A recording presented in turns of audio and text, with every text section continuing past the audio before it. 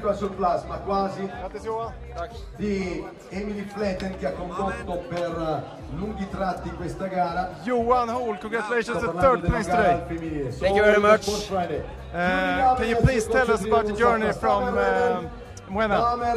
Yeah, the journey was uh, very good for uh, to to we came to Pedazzo through the sprints. Uh, me and Kasper was a bit uh, bad position, positioned there, so uh, Runar get the, got the gap and uh, we tried to close it, but he was really, really strong in uh, down the valley and uh, yeah, he just increased the gap, gap the whole way. So we we tried, but he was too strong, and yeah, I'm happy with the last hill, but yeah, we was aiming for the victory, but yeah, I'm happy.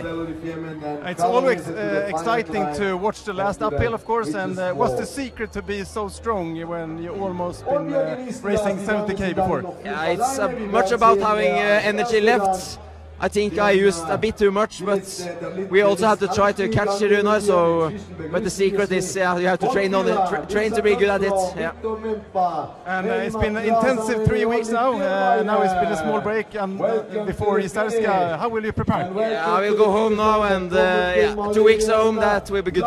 Good, but yeah, uh, a good three weeks here in uh, Middle Europe, and yeah, looking forward for to the next race. Great work today. I look forward to seeing you in two weeks. Vincitore del trofeo Topolino, sci di fondo. Ed ora per la Norvegia, Lee Henning. Bravo Lee, complimenti. Lee Henning.